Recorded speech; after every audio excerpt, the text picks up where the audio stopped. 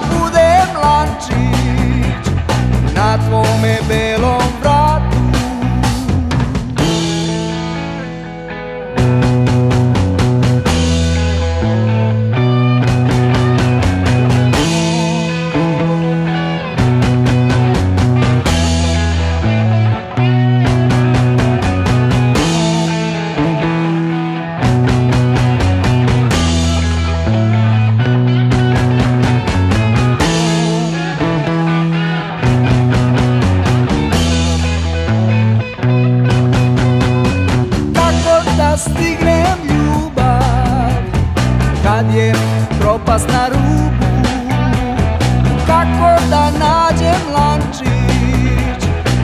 mračnom disco klubu.